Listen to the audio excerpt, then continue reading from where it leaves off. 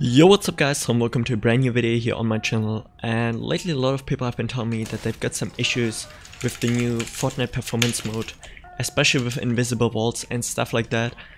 And after a while I discovered pretty much the main issue which causes this problem is that your GPU usage is way too low.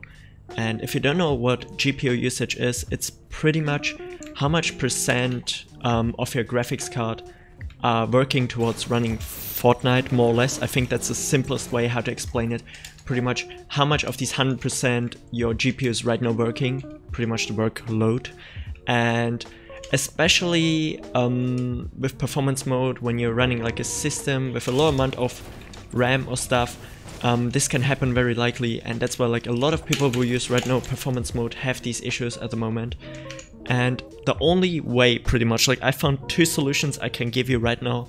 I don't know if they're gonna work for everyone, but I'm just gonna throw it in there just in case. Um, definitely one thing you can do is put your textures on a higher level.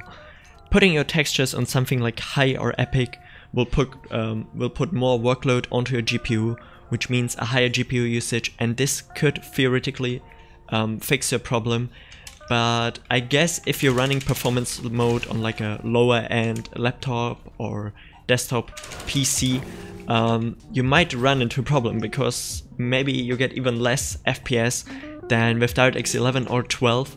And then I've got another solution I pretty much did in another video, I'm just going to link down in the description guys. Um, try out stretch resolution because let's say if you're putting your if you're putting your um, textures on something like epic or high, you might have less FPS than without performance mode. But maybe try out putting your resolution on something like, I don't know, 1750 times 1080 or some other stretched resolution, or just simply try to go with your overall resolution a little bit down on like 1280 times 720 but make sure to definitely put your textures up because this is what's gonna fix the main issue with the low GPU usage.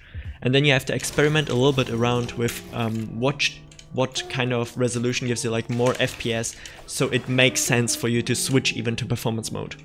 If you get what I mean. I, I hope this was understandable in any case. It's just a quick video. I'm just trying to explain you guys the main issue and what causes it pretty much because a lot of people are confused right now. And yeah, if this was somehow helpful for you guys, uh, make sure to leave a like and subscribe. I'm gonna leave the other video down in the description down below. And without any further ado, this is pretty much it guys. And see you in the next video. Peace.